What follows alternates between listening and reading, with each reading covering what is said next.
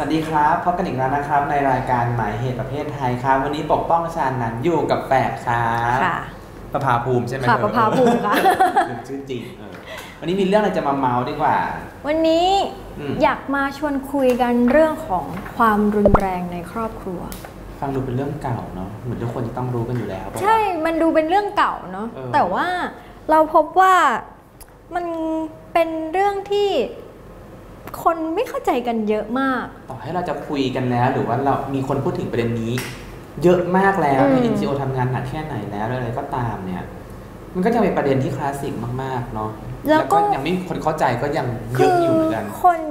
จะมองความรุนแรงอืมในครอบครัวเป็นแบบเหมือนในละครอย่างเดียวอะผัวตีเมียคือแบบฟัดฟัดฟาดตบกันแล้วก็สิ่งเนี้ยแหละ คือเรียกว่า ความรุนแรงในครอบครัวเรื่องเนื้อในอะไรอย่างเงี้ยหรออ่าใช่ไหมเรื่องเนื้อในใช่ปะใช่ใช่เรื่องชื่อเรื่องเนื้อในเออเออที่ก็มีการวิพากษ์วิจารณ์กันข่มขืนตบตีตบขืนตบตีกันในเออในละครแล้วก็มีคนออกมาวิจารณ์อือฮึแล้วคนครับนักแสดงเองเขาก็บอกว่าแบบต่างคนต่างทำอาชีพกันไปอ้าวละครก็คือละครอย่างนี้อืม ถ้าเขาช่วยอย่างนี้ก็ว่าไปเออแล้วไงต่อเหรอแล้วคือช่วงนี้มันก็มีอืมหลายอย่างอาจจะเพราะว่าคือช่วงนี้มันเป็นเดือนมีนาคมแล้วตอนที่เราอัดกันเนี่ย อืมมันก็เป็นเรื่องของสตรีสากลกันไปอย่างนี้เพราะฉะนั้นมันก็เลยมีการ raise ประเด็นเรื่องเนี้ยขึ้นมาเรื่อยๆ อย่างเช่น พวกโฆษณาเอิ่มโฟมล้างหน้าอะไรเนี่ยก็อ่าฮะครับหยิบประเด็นเนี้ยขึ้นมาอ๋อเหรอในการทำแคมเปญในการโฆษณาด้วยอือฮึเพราะฉะนั้นแต่ว่า ทุกคนอะก็จะไปโฟกัสถึงเรื่องของความรุนแรงที่มันเห็นกันชัดๆ เห็นกันง่าย ๆ อืมแต่ว่ามันมีความคือ domestic violence มันมีความซับซ้อนกว่านั้น มันไม่ใช่แค่ตบๆ แล้วก็ไปฟ้องตำรวจแล้วก็จบอะไรอย่างเงี้ย คือความรุนแรงเนี่ย มันไม่ได้มีแค่การกระทำทางร่างกายไง มันมีเรื่องของการที่จิตใจด้วย การรัจิตใจหรือว่าการบังคับขู่เข็นด้วย หรือรวมไปถึงค การวามรุนแรใช้งอำทางความสัมพันธ์เชิงอ่าอำนาจเชิงอำนาจอืมซึ่งอาจจะไม่ใช่แค่ระหว่างผัวกับเมียผู้หญิงกับผู้ชาย เท่านั้นอาจจะอืมในในในโครงสร้างสังคมที่มันมีความสัมพันธ์เชิงอำนาจสูงอย่างเช่นสังคมไทยแบบนี้นะครับสังคมเอเชียเนี่ยหลาย ๆ ที่เนี่ยความรุนแรงในครอบครัวมันจะเกิดขึ้นได้ง่าย แล้วมันจะถูกได้รับความชอบธรรมทางวัฒนธรรมทางสังคมที่ที่เชื่อว่า ระบบอาวุโสอะมันค่ะมันมันหล่อหลอมและสร้างความชอบธรรมให้กับความรุนแรงเสมออมรวมไปถึงความเชื่อที่ว่าผู้ชายมีมีสถานะสูงกว่าผู้หญิงอืม ด้วยในในในบาง attitude อะไรอย่างเงี้ยค่ะก็อ่าเราถ้าเราใช้คำนิยามนะจากอือฮึใน psychology today ที่เป็นเอ่อนักจิตวิทยาเขาเป็นคนอธิบายเนี่ยคือเขาก็บอกว่า domestic violence เนี่ยมันสามารถเป็นได้ทั้งทางร่างกายทั้งทางเอิ่มจิตใจอืมจิตวิทยา แล้วก็มันไม่ได้เกิดแค่กับเพศเพศหนึ่งวัยวัยหนึ่งอืมมันคือเกิดได้กับคนทุกๆ เพศทุกๆวัย แล้วก็ทุกๆเอ่อสมาชิกในครอบครัวอืมด้วย ซึ่งชอบมากเขาใช้คำว่าสัตว์เลี้ยงด้วยอะแบบน่ารักอะเออจริง แต่ว่าคืออันเนี้ยมันก็เป็นอารมณ์ว่า มันไม่ใช่แค่ตบตีอืมมันพูดถึงเรื่องการด่าทอ มันไม่ใช่แค่อืมการทะเลาะกันเฉยๆนะ แต่ว่าเออมันเป็นการพยายามที่จะลดทอนคุณค่าความเป็นคุณค่าความเป็นคน หรือว่าทำให้รู้สึกอับอายอืมแบบว่าสมมติ ชี้หน้าด่ากันกลางตลาดอย่างเงี้ย อันนี้มันก็สร้างความอับอายได้เหมือนกัน เราไม่ทำนะ แต่ถ้าเลิกกันแล้วเราทแล้วก็อีกอันหนึ่งที่เอ่อหลายคนมักจะใช้ก็คือการใช้ลูกำอืมหรือสัตว์เลี้ยง หรือสมาชิกในครอบครัวเป็นตัวต่อรอง อืมอืมคืออย่างเช่นว่า ถ้าเกิดว่าเธอไม่ทำอย่างนี้ ฉันจะไม่ให้เธอเจอลูก หรือว่าถ้าเธอไม่ทำอย่างนี้ ฉันจะเอาหมาไปปล่อยอะไรประมาณอย่างเงี้ยมีแล้วไงต่อเออประมาณนั้นเนี่ยเราพวกเนี้ยมันอาจจะไม่ได้เป็นความรุนแรงแบบที่เราเห็นกันจะจะอืมแต่มันก็เรียกว่าเป็นความรุนแรง มันคือการสร้างตัวประกันอืมด้วย ใช่ แล้วเขาก็บอกว่าหลายครั้งเนี่ยคนที่เป็น abusive partner เนี่ยคนที่เป็นผู้กระทำมักจะพยายามควบคุมอืมอืมควบคุมพฤติกรรมของอีกคนนึงอืมเอิ่มแล้วก็มักจะมีพยายามที่จะเอ่อหึงหวงจนจนเกินเหตุ หรือพยายามที่จะกล่าวหาว่าอีกฝ่ายหนึ่งเนี่ยเอ่อไปมีคนอื่น ซึ่งอาจจะไม่ได้มีหลักฐานอะไรที่มันชัดเจนเลยด้วยซ้ำเอ้ยเราเข้าใจ คนประเภทที่ใช้ความรุนแรงกับคนอีกคนนึงด้วยความหึงหวงเนี่ยเขาจะคิดว่าตัวเองเป็นเจ้าของอ่าแล้วมันจะมีความเป็นเจ้าข้าวเจ้าของเออออยู่ แล้วไม่ใช่แล้วเป็นความเจ้าของเจ้าของที่ไม่ใช่มองในฐานะเป็นคนของฉันหรืออะไรเป็นของของฉันด้วยซ้ำที่มันอืมแย่ไปกว่านั้นด้วยซึ่งค่ะอันที่จริงแล้วเนี่ยทุกคนเป็นฟรีแมนเป็นเป็นเสรีชนระดับหนึ่งเนี่ยค่ะเพียงแต่ว่าแค่มารักกันเว้ยแต่ไม่ได้เป็นเจ้าของซึ่งกันและกันอืมแต่ว่าการหึงหวงบางครั้งเนี่ยการเล่นทะลึ่งตึงตังหรือการพูดชมหรือแบบ เกี้ยวผู้ชายขำๆเนี่ยก็ถูกทำให้นำสู่ความหึงหวงและใช้กำลังหรือความรุนแรงได้อ่าหรือหรืออย่างเช่นว่า เราชอบพิติกเจดอย่างเงี้ยแล้วถ้าเราอืมถ้าเราบอกว่าโอ้ยพิติกเจดคือเรารักสุดนี่คือสามีของเราจริงอะเหรไรออย่างเงี้ยไม่แบบอ่าสมมุติว่าวันนี้คือแบบสมมุตินี่คือเป็นสามีของเราอะไรอย่างเงี้ยอืมแต่ว่าแฟนเราแบบรู้สึกว่าไม่พอใจคือไม่พอใจมาก ๆ แบบที่จะ ทำไมถึง ไปบอกว่าคนนี้เออทำไมถึงไปชอบผู้ชายคนอื่นที่ไม่ใช่ฉันอะไรอย่างเงี้ยอันเนี้ยก็เป็คือพระเกของเธอสิไม่ใช่คนเออ อันนี้คือก็เรียกว่าเยอะเกินไป เออและถ้ามันมีใช่ความพเห็นด้วยยายามที่จะควบคุมกำกับควบคุมความชอบของฉันอย่างเงี้ยแบบว่าเธอห้ามชอบคนนี้หรืออะไรอย่างเนี้ยอันเนี้ยมันก็เข้าข่ายแล้วนะ แสดงว่าเส้นแบ่งว่าอะไรคือความรุนแรงและไม่ใช่ความรุนแรงมันค่อนข้างพร่าเรือนมาก ๆ มันไม่ได้ชัดเจนขนาดนั้นใช่ปะค่ะแต่ว่ามันก็ขึ้นอยู่กับว่าเรากำลังแสดงความเป็นเจ้าพ่อเจ้าของหรือว่าไปกำหนดกฎให้อีกฝ่ายหรือคู่รักของเราเนี่ยห้ามแสดงออกถึงเสรีภาพในแสดงความชอบอะไรบางอย่างด้วยหรือเปล่าด้วยค่ะ เพียงแค่จะเป็นแค่ปราบรื้มเท่านั้นเองอะไรอย่างอืมเงี้ยใช่ไหมแต่ถ้าเอาแบบตามที่คือไอเรื่องของการ ควบคุมเรื่องความชอบเนี่ยอืมมันอาจจะยังสังเกตยาก แต่ว่าถ้าเกิดเรามาดูเอ่อวิจัยนะคะของอาจารย์มนทการเชื่อมชิดนะคะอืมเอ่อทำเรื่องของความรุนแรงในครอบครัวครับในเมืองไทยเนี่ยเขาแบ่งออกมาเป็น 3 อย่าง คือ psychological คือทางด้านจิตอืมจิตใจ แล้วก็เอ่อ physical แล้วก็ sexual นะคะ ด้านแรกคือด้านจิตใจเนี่ยเขาให้ ผู้หญิงเอิ่มติ๊กเอาว่าเคยเคยประสบพวกนี้บ้างไหม ข้อแรกคือมีการด่าทอหรือดูถูกทำให้รู้สึกแย่อ่าฮะครับอ่าอันที่สองคือทำให้รู้สึกอับอาย หรืออมว่ารู้สึกน้อยใจลดทอนอืมอันที่สามคือเออทำให้รู้สึกกลัวขู่เข็น อืมอืมอันที่ สี่ก็คือข่มขู่ว่าจะทำร้ายร่างกาย อันนี้เป็นเชิงอ่าคืออาจจะไม่ได้ยังไม่ได้ทำแต่บอกแบบใช้คำพูดว่า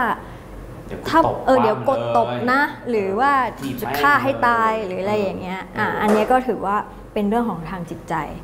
แล้วก็ทางฟิสิกอลก็อย่างเช่นตบหรือว่าคว้างปาหรือว่าผลัก หรือว่าเอ่อ hit with fist เอ่อต่อยทุบเอ้ยทุบเออ่าอทุบทุบหรือต่อยอะไรอย่างเงี้ยแล้วก็เตะลากอ่าฮะฉุดกระชากกระชากลากซ้อมถูโชกอ่าฮะเอ่อทำให้คืออาจจะบีบคอให้หายใจไม่ออก หรือใช้อาวุธ burn เผาอืมหรือว่าอาจจะข่มขู่ว่าจะใช้อาวุธอือฮึต่างๆ ทาง sexual ก็มีก็คือข่มขู่คือใช้กำลังในการที่จะมี เพศสัมพันธ์ แบบที่ไม่มี consent อ๋อนะโอเคเข้าใจแล้วไม่ใช่ความแบบว่า เออเขินเลยแล้วมีการไงต่อ consentกันแล้วว่าอาจจะมีการใช้กำลังนิดหน่อย อันนั้นเป็นอืมคอนเซนต์แต่ว่าเออใช่มันจะมีแบบที่ว่าอะอีกคนไม่อยากมี แต่ว่าใช้กำลังในการข่มขืนมันก็คือการข่มขืนน่ะเออแต่ว่าเป็นการข่มขืนคู่รักของของคนนั้นอืมครับอ่าแล้วก็รวมไปถึง unwilling to have คือ ไม่ยินยอมไม่อยากจะมีแต่ว่าถูกรบเร้าให้ให้จะต้องถูกมีเล้าหรือให้มีะเล้าหรือก็มีไปหน่อยก็ได้ยอมยอมๆไปรักษาความสัมพันธ์ไปหรือว่าบังคับให้มีเพศสัมพันธ์ในลักษณะที่ทำให้รู้สึกอับอาย หรือทำให้รู้สึกว่าลดทอนคุณค่า อย่างเช่นชวนเพื่อนมาแจมหรืออะไรแบบนั้น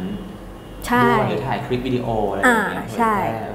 ซึ่งมันมีเยอะมาก เดี๋ยวเราพักก่อนอืมดีกว่ามันก็ซับซ้อนว่าค่ะเดี๋ยวกลับไปคุยกันเบรกหน้าดีกว่า ประเด็นเหล่านี้มันซับซ้อนมากค่ะ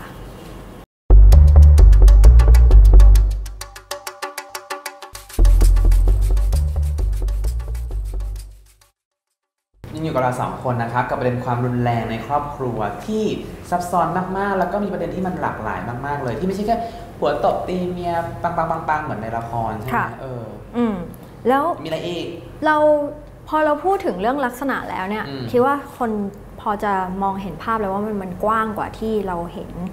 เอ่อทีนี้เรามาพูดถึงเรื่องของเวลาที่เอ่อคนที่เป็นผู้ถูกกระทำเนี่ยครับเขาจะขอความช่วยเหลือเนี่ยเขาเขาทำยังไงบ้างอืมอันเนี้ยในวิจัยอะเขาบอกว่าพบว่าการที่จะแบ่งปันข้อมูลเอ่ออาจจะปรึกษาเนี่ย มีถึง 21% 21.3%ที่รู้สึกว่าไม่มีใครให้ปรึกษา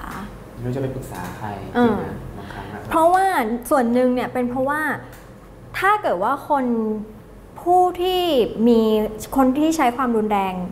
เอ่อในครอบครัวเนี่ยส่วนใหญ่แล้วเนี่ยมักจะพยายามโดดเดี่ยวเหยื่อ คือพยายามที่จะไม่ให้ไป พูดคุยให้ไม่ให้คบเพื่อนเยอะ ไม่ให้ติดต่อกับพ่อแม่อืมอืมอืมอืมเพราะฉะนั้นน่ะจะทำให้เอ่อคน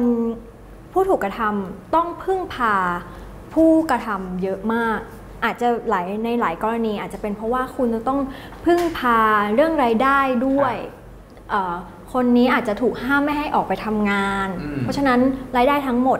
มันอยู่ที่ที่ที่คนกระทำ ก็ทำให้การหนีนี่มันยากขึ้น แล้วเขาก็ไม่มีใคร แล้วก็ไม่รู้ว่าจะไปเล่าให้ใครฟัง เพราะฉะนั้นน่ะปัญหามันจึงวนลูปเพราะฉะนั้นหลาย ๆ ครั้งที่ที่คนมักจะบอกว่าอืมทำไมโดนกระทำแล้วไม่ไปแจ้งความล่ะทำไมไม่บอกคนอื่นล่ะนี่คือมันมันยากกว่านั้น เพราะมันเป็นภาวะพึ่งพิงใช่ด้วยที่ที่ที่เหยื่อเองเนี่ยก็อยู่ในภาวะพึ่งพิงของคนที่กระทำความรุนแรงขณะเดียวกันเนี่ยไอ้ภาวะพึ่งพิงเนี้ยก็ทำให้คนที่กระทำความรุนแรงเนี่ยรู้สึกว่าฉันเนี่ย เลี้ยงดูเธอเธอเป็นเจ้าข้าวเจ้าฉันเป็นเจ้าข้าวเจ้าของค่ะเธอนะใช่เธอไม่มีไม่มีฉันอะฉันก็อยู่ไม่ได้ฉันจะทำอะไรกับเธอก็ได้อะไรแบบเนี้ยกลายเป็นอืมเหมือนแบบมันดูเป็นทาสว่าเฮ้ยทาสติดที่ดินหรืออะไรอย่างเงี้ยไปว่ะอืมซึ่งมันก็น่าเศร้า แล้วก็คนพวกนี้มันจะมักจะไม่ถูกให้ได้ได้ associate กับคนอื่น เพราะว่าหนึ่งกลัวไอ้คนที่ทำร้ายร่างกายก็กลัวว่าจะถูกไปโพธนาหรือค่ะจะบอกใครด้วยหรือเปล่าด้วยเนี่ยนะครับ แล้วก็แล้วก็ก็น่าเศร้าว่ะเฮ้ยอืมแล้วก็ เนี่ยมันมีข้อต่อมาที่เขาบอกว่าเอ่อเรื่องของการขอความช่วยเหลือจากคนอื่นเนี่ยส่วนคนส่วนใหญ่ที่พยายามหาเอ่อความช่วยเหลือจากคนอื่นเนี่ยเหตุผลหลักๆก็เคยรู้รู้สึกกลัวรู้สึกตกใจ แล้วก็เลยพยายามที่จะหาเอ่อความช่วยเหลือจากคนอื่น จากญาติจากพ่อแม่พี่น้องจากเจ้าหน้าที่ แต่คนจำนวนมากที่ไม่ขอความช่วยเหลืออืมส่วนที่เยอะมาก ๆ 49.7%คือรู้สึกอับอาย รู้สึกผิดอืมแล้วรองลงมาก็คือไม่มีข้อมูล หาข้อมูลไม่ได้ ไม่รู้ว่าจะไปขอความช่วยเหลือจากใครจากที่ไหน คือมันก็แสดงว่าความสัมพันธ์ในครอบครัวที่เป็นความความรุนแรงที่เกิดขึ้นในครอบครัวเนี่ย ส่วนหนึ่งมันเรื่องของ สถานะทางเศรษฐกิจหรือค่ะว่าสถานะทางสังคมที่มันไม่เท่ากันระหว่างคู่รัก หรือคนในสมาชิกในครอบครัวที่คนหนึ่งอาจจะมีอำนาจทางสังคมสูงกว่าอำนาจทางเศรษฐกิจสูงกว่าทำให้ไปกำหนดกฎเกณฑ์ตัวอีกคนหนึ่งได้ค่ะด้วยเนี่ยขณะเดียวกันเนี่ยการที่เขาไม่สามารถไปพึ่งพิงหรือว่าไปปรึกษาใครได้มันเป็นเรื่องที่น่าเศร้ามาก เพราะว่าสังคมมันจะถูกมองว่ามันเป็นปัญหาครอบครัวปัญหาเรื่องอ่าส่วนตัวไปที่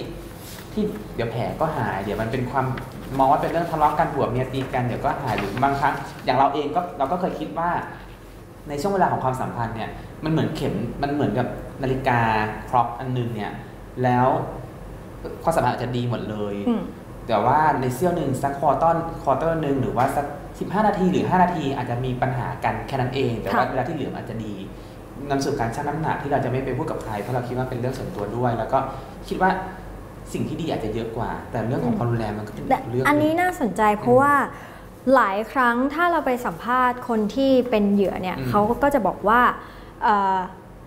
เหอีกเหตุผลหนึ่งก็คือเขารู้สึกว่า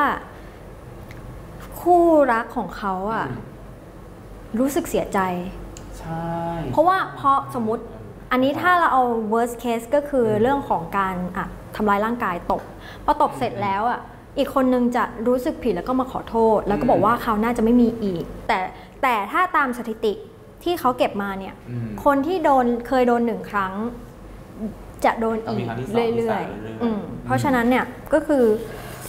อันเนี้ยอันเนี้ยเป็นอีกเหตุผลหลัก อีกอันหนึ่งที่ที่เป็นเหตุผลให้คนรู้สึกว่าไม่มีที่พึ่งก็เพราะว่า เมื่อไปแจ้งความกับตำรวจแล้วเนี่ย ตำรวจก็จะรู้สึกว่านี่เป็นเรื่องของครอบครัว เดี๋ยวก็ดีกันแล้วอืมเป็นเรื่องของผัวเมีย ก็พยายามที่จะให้เอ่อประนีประนอมกันยอมความกัน แล้วก็อากลับบ้านยอมชอมกันไป แต่ในกรณีที่ถ้าผู้หญิงเอิ่มอาจจะไม่ใช่ผู้หญิงก็ได้เออเหยื่อคนที่อะคนที่เป็นเหยื่อเนี่ย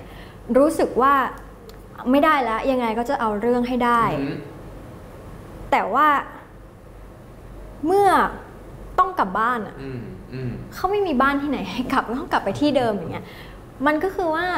เอ่อทางภาครัฐเองอะไม่มีเหมือนเชลเตอร์อืมให้กับให้กับคนที่เป็นเหยื่อของเออความรุนแรงในครอบครัว มันจึงทำให้เขาจำเป็นต้องกลับไปที่เดิมแล้วก็ยอมความอืสู้ไปเผลอๆกลับบ้านโดนหนักกว่าเดิมอีก โดนตีซ้ำอีก ใช่ค่ะเออแล้วเนี่ยคือ เราบอกไปก่อนหน้านี้แล้วว่า คือเหยื่อมันไม่ใช่แค่ผู้หญิงอืมผู้ชายเองก็ก็เป็นก็เป็นเหยื่อได้เช่เช่นนกักันนเพราะว่ามันก็จะมีเอ่อหลายๆคนที่อาจจะเคยเจอแฟนผู้หญิงที่อาจจะแบบจิกมาก ๆ พยายามจะบอกจะถามให้ได้ว่าอยู่ที่ไหนยังไงอยู่ตรงไหนแล้วทำไมไม่กลับบ้าน แบบถ้าจิกเยอะๆคอนโทรลเยอะ ๆ ขนาดเนี้ยนี่ก็ถือว่าเป็น violence อ่าคือผู้ชายก็ ก็มีและหลายคนก็อาจจะเคยเจอความรุนแรงแบบที่เป็น physical ด้วยนอกเหนือจากเราอาจจะกพรบเสรีภาพจริง ๆ แล้วเราอืมอาจจะเคยเห็นในในละครในซิทคอมที่ทำให้มันเป็นเรื่องตลกก็ได้นะที่แบบว่าในการ์ตูนเมียน่ะเมียตบผัวอืมแล้วก็เป็นเรื่องตลกอะจริง ๆ ในเรื่องใช้ในเรื่องจริงตีหัวเลยยังเป็นการ์ตูนได้คิดดูอะไรแบบนั้นน่ะอันเนี้ยก็เป็นความรุนแรง แล้วผู้ชายเนี่ยก็จะมี เขาเรียกว่าความรู้สึกเอ่ออับอายศักดิ์ศรีลูกผู้ชายยิ่งครับยิ่งกว่าพ่ออยู่อะไรใช่อเยิ่งกว่าคำพูดอะไรผู้หญิงอางเงี้ด้วยในในเออหลายกรณีเออที่รู้สึกว่า คนอื่นจะถูกจะดูถูกว่าเอ้าทำไมถึงให้ผู้หญิงมาตบได้ทำไมถึงทำให้ไม่ป้องกันตัวเองได้หรือทำไมไม่เป็นนักสู้เลยอะไรอย่างเงี้ยซึ่งจริง ๆ แล้วเขาอาจจะไม่ได้เป็นคนสมาทานความรุนแรงเขาไม่ต้องการจะแบบอืมเพราะว่า ถ้าตอบโต้กลับไป ก็เดี๋ยวผู้ชายก็ผิดอีกเลยอย่างเงี้ยมันก็จะเป็นเอ่ออืมเป็นภาระของผู้ชายที่เป็นเหยื่อในระดับหนึ่งทำไมนะถึงซิทคอมเป็นต่อไม่รู้แล้วไงต่อเออแล้วไงต่ออะอืมเราไม่มีทั้งเชลเตอร์สำหรับอืมเอ่อผู้ที่เป็นเหยื่อของผู้หญิงครับและของผู้ชายยิ่งไม่มีใหญ่เขาไม่กล้าบอกเพื่อนนั่นแหละผู้ชายอ่าที่บางครั้งมันมีสังคมชายเป็นใหญ่มันเรื่องแบบนี้มัน ไม่กล้าพูดกันด้วย คือเคสที่น่าสนใจมากครับเกี่ยวกับเรื่อง domestic violence ของผู้ชายเป็นเหยื่อเนี่ย มันวนกลับมาที่เรื่องของ Johnny Depp กับ Amber Heard ตอนแรกคือ Amber Heard ฟ้องอืมพอฟ้องไปฟ้องมา ฝาก Johnny Depp ก็ฟ้องกลับอือฮึบอกว่าจริง ๆ แล้วคนที่เอ่อกระทำเนี่ยก็คือ Amber Heard เองที่ทำกับกับ Johnny Depp อืม ซึ่งอันเนี้ยมันยังพิสูจน์กันไม่เสร็จก็เดี๋ยวครับให้เขาไปต่อสู้กันแต่ว่าเป็นเรื่องของกระบวนการทางการอ่าเป็นศาลอยู่ แต่ว่าความน่าสนใจก็คือว่า กรณีเนี้ยมันเป็นกรณีของคนที่มีอำนาจทั้งคู่อะครับ คือโอเค เรื่องของความรวยหรือความดังมันอาจจะไม่ไม่เท่ากันนะ แต่ครับว่าเอ่อมันก็ เป็นคนดังทั้งคู่อืมคนที่มีทรัพยากรที่จะไปจ้างทนายทั้งคู่อะอืมเพราะฉะนั้นเนี่ยการการต่อสู้ทางศาลเนี่ยมันก็ค่อนข้างจะสูสีนะอืมครับแต่ว่าในกรณีของคนหลายหลายๆคู่ มันไม่ใช่เป็นแบบนั้น มันมีคนหนึ่งที่มีทรัพยากรมากกว่าอืมออืมและมีอำนาจมากกว่า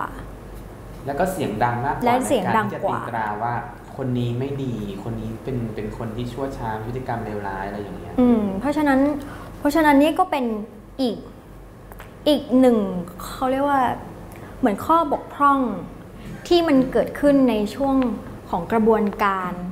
กว่าที่คนอืมคนหนึ่งจะได้รับความยุติธรรมจากความ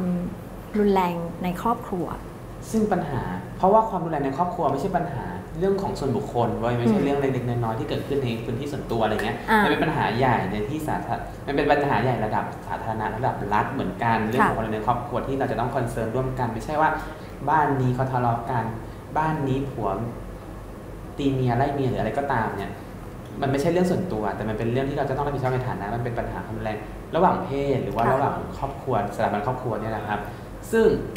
นี่ไม่ใช่ บางทีไม่ใช่ระหว่างเพศด้วยนะ เพราะว่าอืมคู่รักเพศเดียวกันใช่ก็มีสถิติเยอะอืมว่าอืมอืมว่าใช่คู่รักเพศเดียวกันมีการเอ่อก่อความรุนแรง